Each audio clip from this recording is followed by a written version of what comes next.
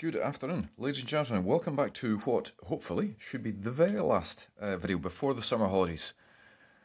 Uh, blimey, could do in my holidays. Um, and for higher chemistry, um, and I'm going to take you back to a word that I threw at you a long time ago. It was actually, I was just checking, it was all the way back in Rates 3 uh, video. If you want to go and quick, have a quick look in that. Uh, we were talking about the potential energy stored in covalent bonds. And I threw this word enthalpy at you and said I'd come back to it. Well, I'm coming back to it. Um, our physics brothers and sisters uh, are very keen to tell us, quite correctly, that energy cannot be destroyed or created. Jolly good. Um, but I'm just about to have one of these, in fact. He says, from a convenient prop ball in front of him, I'm going to have a cherry. Uh, the reason I'm having a cherry is A, I love him, and B, it gives me some energy. But you can't give energy, can you? Physics tells us that. There must already be energy in these molecules, and all I do is extract some of it. So that's the potential energy stored in covalent bonds, guys. We call it enthalpy. Um, it's where a candle flame comes from. Light a candle flame, don't put your hand in it, of course, you learn that at a young age. Where does all that heat come from? I actually designed a worksheet all the way back in third year that actually explains that the energy that comes out of a chemical reaction is from the energy that's stored in the bonds. Uh, and if you remember, of course, it's not only one type of reaction. You can indeed have an exothermic reaction, a candle flame, for example. So that gives energy out, but you can also have endothermic reactions. When we get back to the lab, we'll have a go at an endothermic chemical reaction.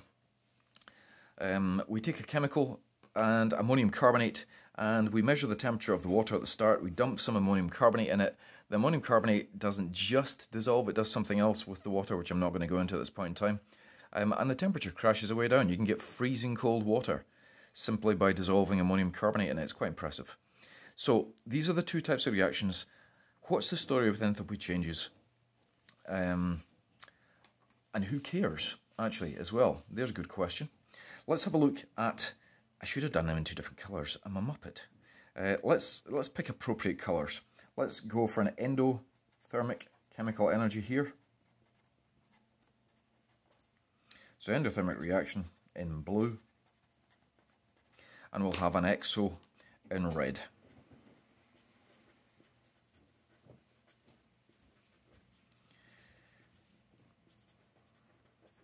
So, set fire to a candle, cooking a chicken. Those are your two reactions. We're going to have our graphs that we saw all the way back in rates number three reaction. I think rather than label it as potential energy, we'll probably use the correct word now, enthalpy. So up the side we have got enthalpy. The symbol for enthalpy is H. I'm going to start using that. It's from heat, by the way. It's back to Victorian age when we didn't quite know how all this worked. Because um, this is all about movement of heat, isn't it? Either in or out of the reaction. That was why they called it that. So enthalpy is H. Reaction progress along here, time basically, you know, as the reaction goes.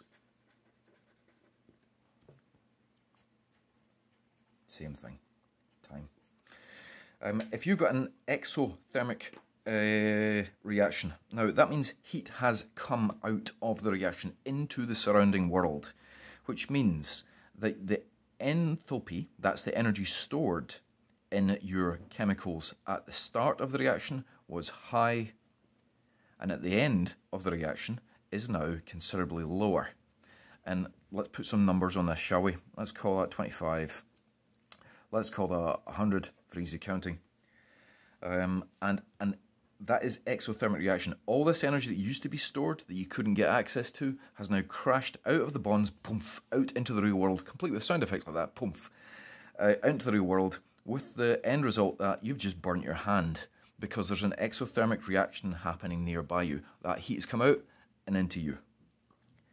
Endothermic reactions are exactly the opposite. An, an endothermic reaction feels cold to your hand because there was not much energy stored in the bonds before, and after the reaction is finished, at the end of the reaction, now there's a lot more energy stored in the bonds. Uh, the difference here has been contributed by the outside world. So all this energy looks like it's disappeared. Your hand is getting cold. It hasn't disappeared, of course. It's simply stored in the bonds. I should actually define that, shouldn't I? Enthalpy is the energy stored in bonds.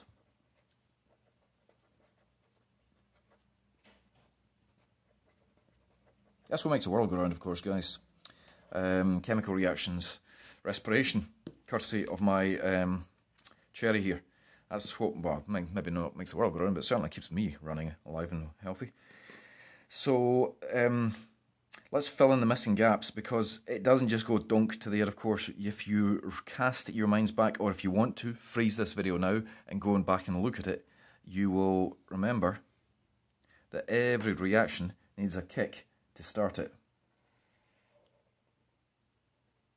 Now, that kick was defined as the amount of energy required to break apart the old bonds and form an activated complex. It had a name. I'm hoping you can shout at the screen and tell me what its name was. It is the activation energy.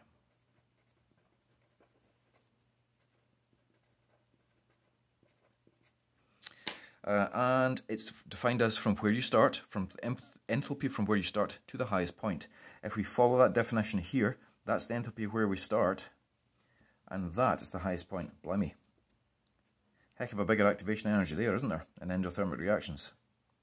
Uh, activation energy. Again, same thing. You're just forming the activated complex up there, and the activated complex was simply the it's the transition point between reactants and products. The old bonds are just breaking, the new bonds are just forming. There was that funny thing, by the way, where you don't actually have to, if you manage to get up to this, you don't have to go down there. You can go back. So reactions flip backwards and forwards. It's called equilibrium. And in fact, I'd like to make a point, technically speaking, going this way, this is, this would be called a forward reaction. And it is indeed exothermic. But if you look at it backwards, if you start here and actually go back here, remember ammonia? I don't know if you cast your minds back to the Haber process. It's what's called a reversible reaction. We will look at these in many more details this year. Um, but we could actually, in theory, go backwards here, in which case, ironically, this would be an endothermic reaction if you went backwards, and an exothermic reaction if you went forwards. Um, there is one more thing to mark on these graphs, guys, which I have not marked, and I'm going to mark in black and that is the delta H. So the delta H is the change in enthalpy. Um, technically speaking, if you want to do it arithmetical, it's actually the enthalpy of the products take away the enthalpy of the reactants. And this is the enthalpy of the products. This is the enthalpy of the reactants. And the same thing here, enthalpy of products, enthalpy of reactants. Let's do some sums then, according to this. This is technically speaking 25 take away 100, which actually comes out in this reaction to be negative 75. I wanted to cover the units of this. The proper units of enthalpy change are kilojoules, small k, capital J, keep the physicists happy, and is kilojoules per mole.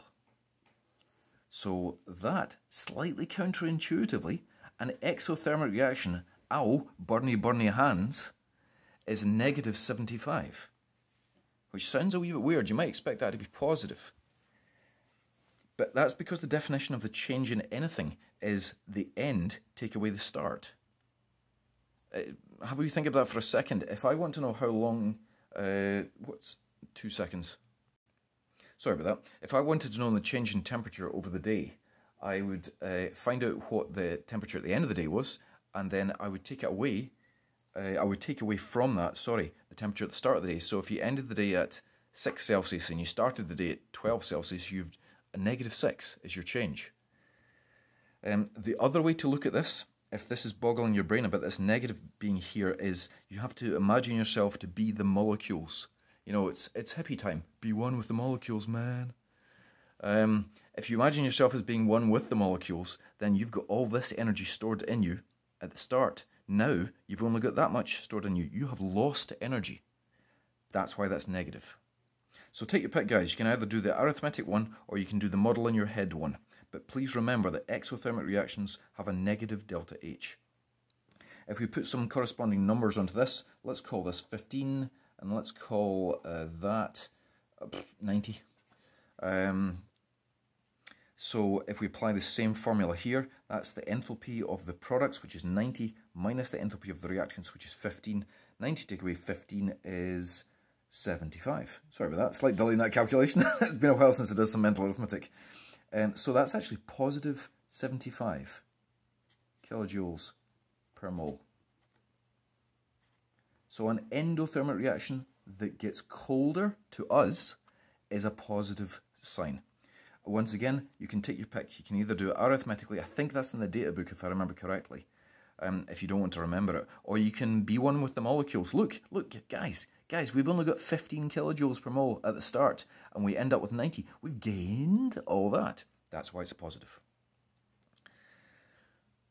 Okay, okay, let that sink in for a wee second. I did say I would also talk to you about who cares and how do we measure these enthalpy changes. Well, who cares? Industry cares. Um, because to them, time is money, but almost even more importantly than that, energy is industry. Yeah, spell it right. Industry cares about delta H's. Uh, delta, by the way, I do apologise. I might have been thinking of my advanced higher. I'm so sorry. If you're wondering, what's he talking about, this triangle thing? Delta is a physics symbol that means change in. That's what that means. Um, so industry cares about delta H's. And there's a very simple reason. If you've got an exothermic reaction, then you don't want it to get too exothermic and get carried away with itself and blow your chemistry plant up. Um, so you have to know the magnitude of that uh, energy that's coming out you might even have to build a cooling system around about it. The engine in your car, uh, by the way, is based upon this. This is why you have a radiator in the front of your car engine, to get rid of all this heat that you don't really want. Uh, if it's an endothermic reaction you're dealing with, you have to know exactly how much energy you'd have to give it. You don't want to be giving it any more than that because industry pays a fortune for their electricity. You wouldn't believe how much more they pay than domestic households, so they really care about delta H's um, how do you measure a delta H? Um, don't stick a thermometer in the candle flame, okay? It's going to go bang. Please don't try that experiment at home. So how do we measure a delta H?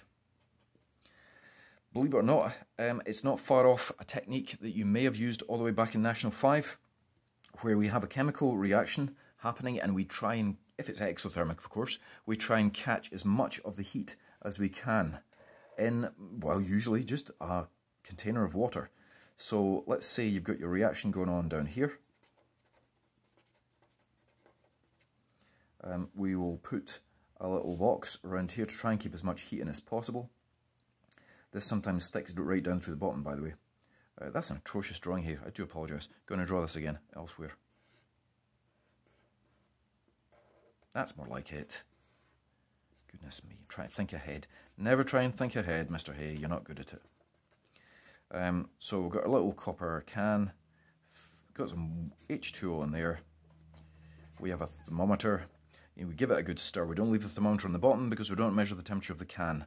We're hoping that all the heat from this reaction will end up in the water and then we measure the change in temperature of the water.